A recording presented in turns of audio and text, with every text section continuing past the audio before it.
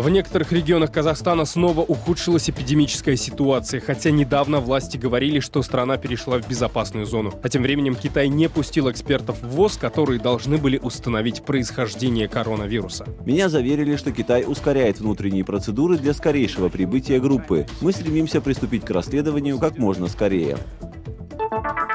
Силовые структуры Кыргызстана перед президентскими выборами и референдумом переходят на усиленный режим несения службы. Спецслужбы говорят о возможных провокациях в день голосования. Стоит ли в Кыргызстане ждать акций протеста и беспорядков? Обсудим с экспертом. Власти Таджикистана снова ввели лимит на потребление электроэнергии в сельской местности. Госэнергохолдинг объясняет это нехваткой гидроэнергоресурсов. Как переживают таджикистанцы суровые зимние морозы? Расскажем в нашем репортаже. Мы сделали запасы, так как знаем, что зимой, как бы мы ни хотели обратного, все равно будут проблемы с подачей электроэнергии. Поэтому каждый год, несмотря ни на что, я закупаю уголь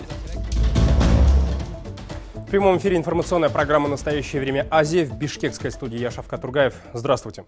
В Казахстане ухудшилась эпид-ситуация. За минувшие сутки зафиксировали новую вспышку коронавируса в одном из регионов страны, хотя в начале недели власти рапортовали, что по темпам распространения COVID-19 Казахстан перешел в безопасную зону. Подробности узнаем у нашего корреспондента Ернура Дожанова. Он с нами на прямой связи из Нур-Султана. Ернур, привет! Где именно сейчас сложилась наиболее опасная эпид-обстановка? Расскажи.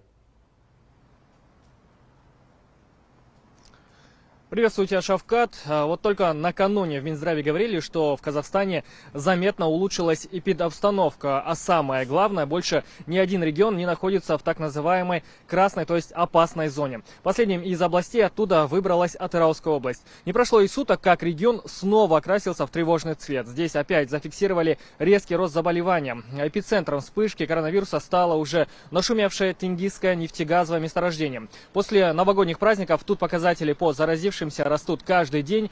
По последним данным, за сутки выявили свыше 140 случаев инфицирования, что почти в 5 раз больше, чем в начале недели. Эпидситуация на Тенгизе напряженная с начала пандемии, отмечу. Рабочие сюда стекаются со всей страны и живут тут в закрытых городках. Это и считают причиной массового заражения. На данный момент на месторождении действуют строгие правила. На выезде и въезде установленные блокпосты. Более 700 человек находятся на лечении в местных стационарах. Вот буквально э, в прошлом месяце главный санитарный врач Атырауской области говорил, что 80% всех случаев заболевания COVID-19 выявляют именно на Тингисском месторождении. И справиться до сих пор с коронавирусом там, э, как мы видим, не получается.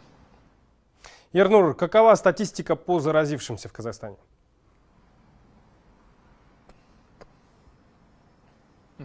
Да, Шавкат, после новогодних праздников количество заразившихся медленно, но верно растет. Э, за минувшие сутки коронавирус диагностировали у 742 э, казахстанцев, то есть четверо с этой болезнью справиться не смогли. Что касается коронавирусной пневмонии, тут цифры гораздо ниже. Воспаление легких выявили у 29 человек. По суточному приросту заразившихся лидирует Нур-Султан, 114 человек здесь. Следом идет Атрауская область, которая, вот напомню, оказалась снова в красной зоне. Тут э, список больных пополнили 101 человек, а замкнул тройку лидеров Алматы с показателем 94 инфицированных. Большое спасибо. Ернур Дожанов был с нами на прямой связи.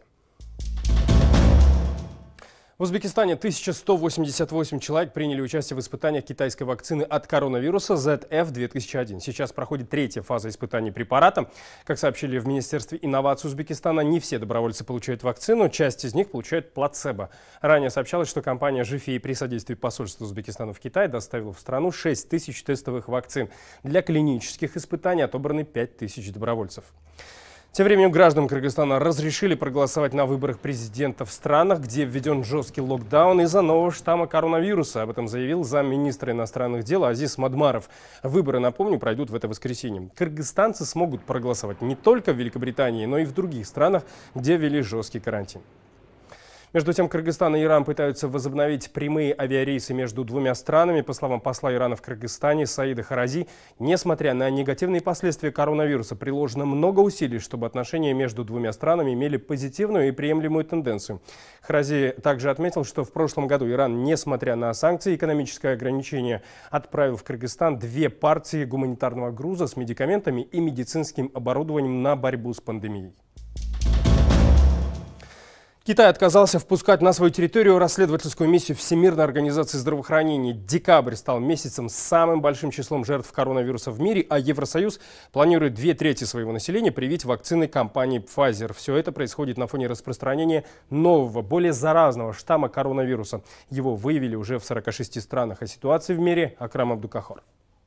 Самой громкой новостью этого дня стал отказ Китая принимать экспертов Всемирной организации здравоохранения. Согласно предварительным договоренностям с Пекином, миссия ученых-эпидемиологов, вирусологов и экспертов по общественному здравоохранению должны были попасть в Ухань. Специалисты в течение шести недель планировали там собрать анализы у людей и животных, чтобы установить происхождение коронавируса и то, как именно он передался от животного животного к человеку. Мы повторяем снова и снова, только наука сможет победить этот вирус. Только сплоченная работа ученых поможет нам достичь результатов. Нам необходимо отбросить политику и дать возможность ученым заняться своей работой, чтобы потом они смогли дать нам полезные ответы. Переговоры руководства Всемирной организации здравоохранения с властями Китая о допуске экспертов в эту страну шли с момента обнаружения коронавируса в Ухане. В декабре ВОЗ объявили, что миссия, состоящая из 10 ученых, начнет работу в январе следующего года. Накануне первые два члена этой миссии выехали в Китай. Однако одного из них отправили обратно, а второй до сих пор находится в третьей стране. Причину отказа в Пекине не комментируют. В связи со сложившейся ситуацией глава ВОЗ заявил, что он очень огорчен. Когда я беседовал с высокопоставленными китайскими чиновниками, я еще раз дал понять, что эта миссия приоритетна для ВОЗ и международной группы. Меня заверили, что Китай ускоряет внутренние процедуры для скорейшего прибытия группы. Мы стремимся приступить к расследованию как можно скорее. Тем временем сайт-агрегатор, отслеживающий статистику развития пандемии коронавируса, назвал декабрь месяцем с самым большим числом жертв COVID-19 в мире. Согласно подсчетам, в последнем месяце 2020 от коронавируса в мире скончалось примерно 350 тысяч инфицированных. Месяцем ранее этот показатель не превышал 270 тысяч. Такой резкий скачок смертности, по мнению экспертов, обусловлен прежде всего резким ростом числа заразившихся. На этот день всего в мире зафиксировано примерно миллион девятьсот тысяч жертв коронавируса. Между тем, британский более заразный штамм коронавируса выявили уже в 46 странах. На фоне его стремительного распространения Евросоюз начал переговоры об удвоении поставок вакцины компании Pfizer. По данным издания Bloomberg, если сделка состоится, количество препарата хватит, чтобы привить две трети населения ЕС. К другим темам в Кыргызстане силовые структуры переходят на усиленный режим несения службы перед президентскими выборами. В стране закрыли все оружейные магазины, а медики скорой помощи обзавелись касками на случай беспорядков. Об этих и других предвыборных мерах безопасности расскажет Карина Христова. Первыми в стране на усиленный вариант несения службы перевели сотрудников Госкомитета нацбезопасности. Там пообещали особый упор сделать на борьбу с провокаторами, которые могли бы попытаться сорвать выборы. Кроме того, в спецслужбе заверили, что проследят за безопасностью на границах. Совместно с правоохранительными органами и пограничной службой проводится фильтрационная работа въезда-выезда граждан в целях выявления членов террористических и религиозно-экстремистских организаций, а также в приграничных районах по недопущению конфликтных ситуаций. На два дня позже, с ближайшей пятницы, на усиление перейдет и МВД. В сам день выборов в стране на службу выйдут 11 тысяч милиционеров, добрую половину из которых отправят охранять порядок на избирательных участках. В министерстве заявили, что готовы и к возможным митингам после голосования. Заверили, что в отличие от октябрьских событий, на этот раз руководство никуда не сбежит. И пообещали, что силой разгонять демонстрации не будут. Силу, силу не будем применять, ну, вот то, что как в прошлый раз. Но, наверное, я э, уверен и надеюсь, э, э, народ э, поддержит, чтобы э, и горожан тоже не допустит.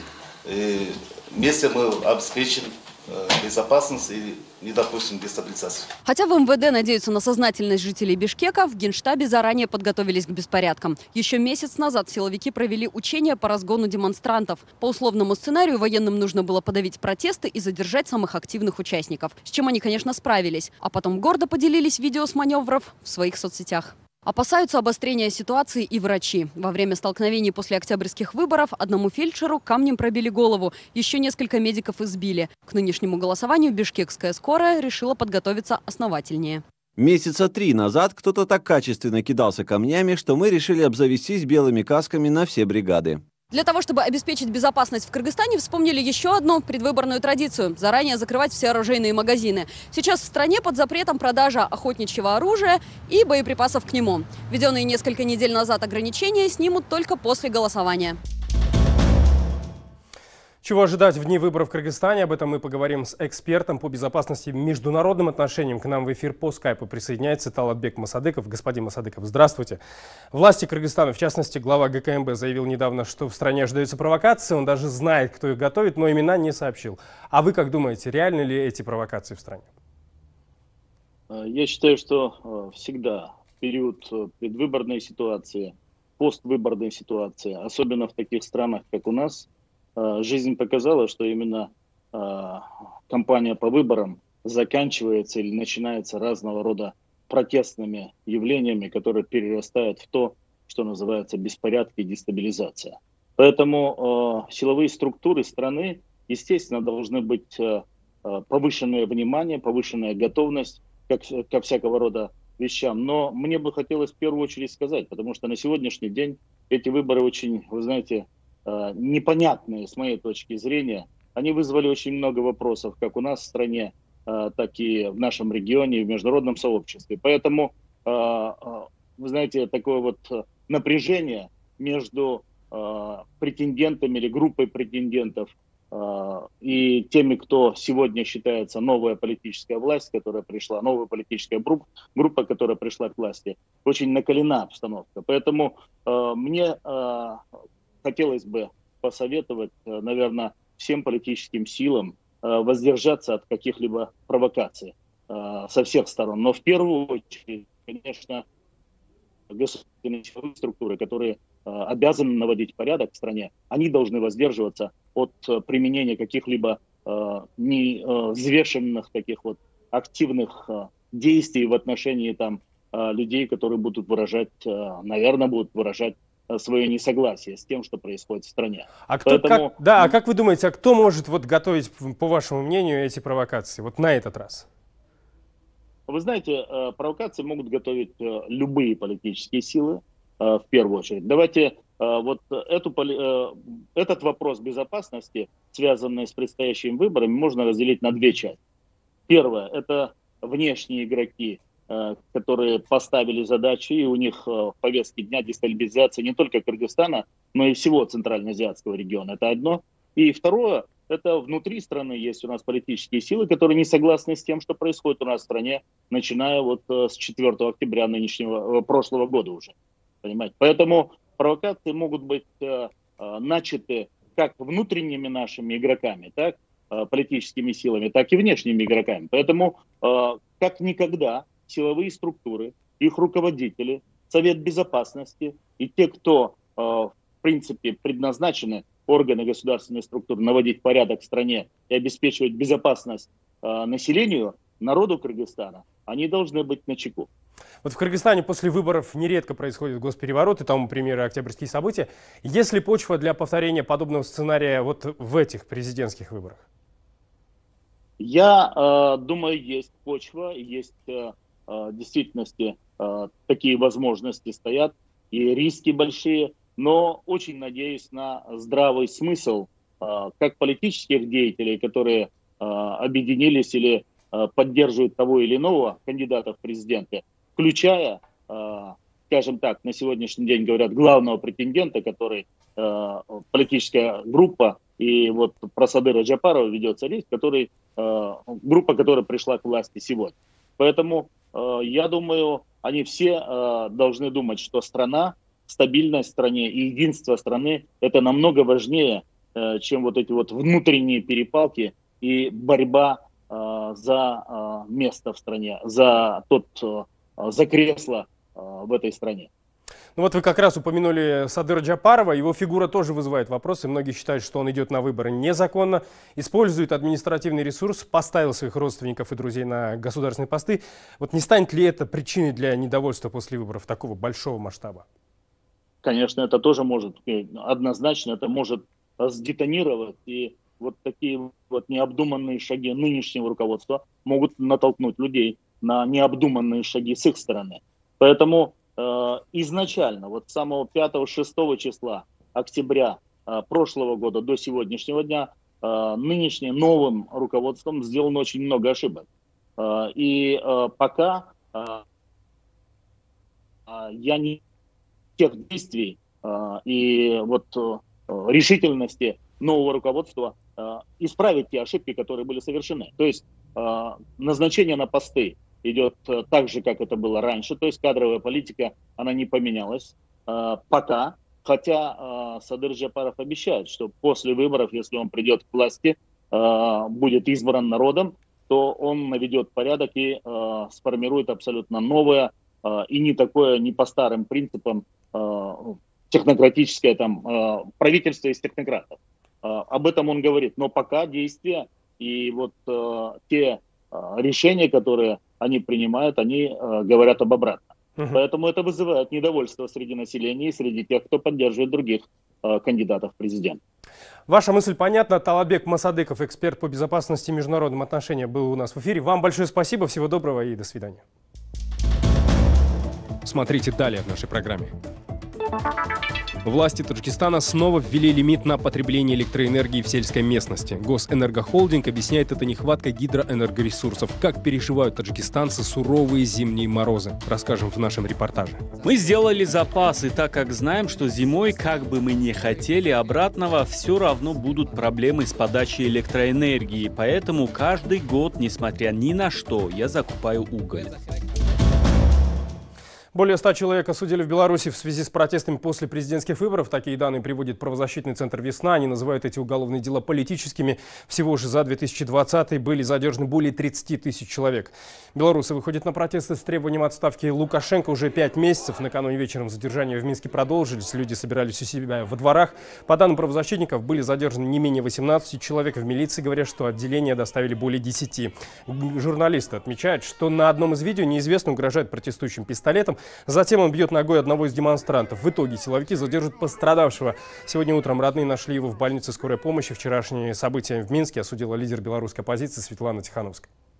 В Беларуси сейчас одни и те же люди отдают приказы бить и задерживать людей в их собственных дворах и планируют собрания, которые называют все белорусскими и народными. Очевидно, что тот, кто позволяет себе бить белоруса, не имеет никакого права представлять его интересы. Мы не перевернем никакую страницу после того, как в родных районах нам угрожают оружием. Конгресс-центр, дворец совещаний, правительственная трибуна, отель «Аркадак» – это не полный список объектов в Туркменистане, которые были возведены в 2020 году. Несмотря на тяжелое экономическое положение, руководство страны тратит миллиарды долларов на помпезные строки. К такому выводу пришли в редакции издания «Turkmen News» после изучения документов французской строительной компании «Bouygues». Согласно годовому отчету одного из главных подрядчиков правительства Туркменистана, компания по итогам прошлого года освоила в этой стране примерно миллиард триста миллионов долларов. Возведение объектов идет не только в Ашхабаде. Власти Туркменистана продолжают строительство нового города на малой родине президента в области. Город, рассчитанный на 70 тысяч жителей, сдадут в следующем году. Его строительство обойдется бюджету почти в полтора миллиарда долларов. В прошлом году Гурбангулы Бердымухамедов на одном заседании рассказал, что в Туркменистане строится примерно две с половиной тысячи объектов на 37 миллиардов. По данным Turkmen News, власти воздерживаются от публикации более подробных смет. Делается это, чтобы не раздражать население, которое сейчас переживает тяжелейший экономический кризис. На севере Таджикистана в Худжанде неизвестные расписали тротуары и стены близ городского рынка антиправительственными лозунгами. Видео сейчас распространяется в таджикистанских сегментах соцсетей. Запрещенный в Таджикистане оппозиционный ресурс ислох.нет уточняет, что надписи появились прямо напротив особняка бывшего председателя области Косима Рахбара. Сейчас он курирует вопросы развития регионов в комитете при президенте. Лозунг э, содержит призыв уйти в отставку президента Эмомали Рахмона, положить конец жестокости и угнетению, а также предупреждение о скорой революции. Накануне в социальных сетях появилось еще одно видео. Оппозиционный сайт сообщает, что в ролике показана улица прошарок в Ходженте. На кадрах видно, как стена и тротуар, которые были расписаны антиправительственными лозунгами, уже замазаны свежей серой краской. Отмечу, написание политических лозунгов в общественных местах в Таджикистане практикуется нечасто. Власти жестко борются с такими проявлениями народного творчества. Таджикистане в очередной раз ввели лимит на потребление электроэнергии для населения в сельской местности. И это в зимние морозы. Электричество в стране все еще является основным источником тепла в домах таджикистанцев. В ноябре и декабре прошлого года в сельской местности подавали электроэнергию также лимитированно, но тогда в государственном энергохолдинге монополисте Барки Тоджик заявляли, что сделано это было не из-за нехватки света, а из-за ремонтных работ, рассказывает Анширова Нарипов. Нигматулло Нарзулоев еще осенью сделал запас дров, угля и коровьего кизика. Зимой для приготовления пищи, хлеба и обогрева дома он использует только такое топливо. Так, говорит мужчина, поступают все в его поселке. Электричество используют для освещения в доме. Слишком уж опасно полагаться на бесперебойную подачу электроэнергии и переводить хозяйство на нее, считает Нигматулло. То трансформатор сгорит, то напряжение в сети низкое, а сейчас вообще лимит ввели. Чугунная печь и уголь, по его словам, надежнее. Мы сделали запасы, так как знаем, что зимой, как бы мы ни хотели обратного, все равно будут проблемы с подачей электроэнергии. Поэтому каждый год, несмотря ни на что, я закупаю уголь. Установку чугунных печей в комнатах могут позволить себе далеко не все. Дело не в цене. Такой обогреватель не поставить в многоквартирном и многоэтажном доме. И хотя власти и обещали, что лимит будет действовать только там, где нет многоэтажек, в поселке Навруз, состоящем из многоквартирных домов, свет все же отключают. Местные жители жалуются, что всего лишь за час без электропитания в их бетонных панельных домах становится невыносимо холодно. За окном 10-градусные морозы, к которым таджикистанцы не привыкли. Я слышал объявление, и там было сказано, что не отключат многоэтажные дома. В нашем поселке все дома четырех-пятиэтажные. А со скольки этажей они считаются многоэтажками? Выше пяти этажей или больше десяти? Мне непонятно. Объявление о лимите на потребление электроэнергии в стране было опубликовано не заранее, а в день, когда ввели ограничения. Так что таджикистанцы даже не могли физически подготовиться к ночному блэкауту. Электропитание отключают ежедневно с 11 вечера до 6 утра. Согласно заявлениям руководства госэнергохолдинга Барки Тоджик, из-за морозов произошло снижение запасов воды в реке Вахш, вдоль которой расположены основные ГЭС страны. И воды до весны может не хватить. В настоящее время сложилась серьезная ситуация. Есть вероятность, что до весны может не хватить водных ресурсов. В связи с этим необходимо некоторое время ограничить подачу электроэнергии в стране. В тех местах, где нет многоэтажных домов, есть возможность использования других источников тепла. По словам бывшего директора госэнергохолдинга Барки Тоджик Бахрома Сироджева, ситуация действительно непростая, но вполне ожидаемая и прогнозируемая. Подобные погодные изменения происходят с определенной периодичностью, но подготовиться к ним практически невозможно. Альтернативы электроэнергии нет. С 1932 года ведется статистика по маловодью и выведена закономерность, что в среднем раз в пять лет бывает такое маловодье. Но альтернатив мало. Уголь везде использовать мы не можем, а газа нет. Сколько времени продлится энерголимит в Таджикистане, неизвестно. Скорее всего, пока не станет теплее, считают в госхолдинге. Власти страны уже прекратили экспорт электроэнергии за границу и призывают население экономить ее, говорится в сообщении компании. Такие же призывы делались в ноябре прошлого года, когда в сельской местности отключали электроэнергию. Но тогда в Барке Тоджик не признавали наличие проблемы с водой. Говорили, что ведутся ремонтные работы на линиях. Анушер Вонарипов, Насим Исамов, Таджикистан. Это были все новости, о которых мы хотели вам рассказать. Смотрите нас в социальных сетях, в эфире своих национальных телеканалов и в прямом эфире круглосуточного канала «Настоящее время» в Ютубе. Ну а мы встретимся с вами завтра в это же время. Я желаю вам всего доброго и до встречи в эфире.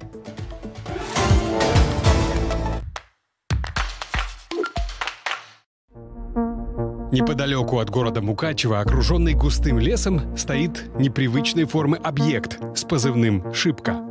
Когда им говорят, что это действующий объект, они очень удивляются. Это радиолокационная станция, много лет прослужившая частью западного щита СССР, выявлявшего вражеские баллистические ракеты.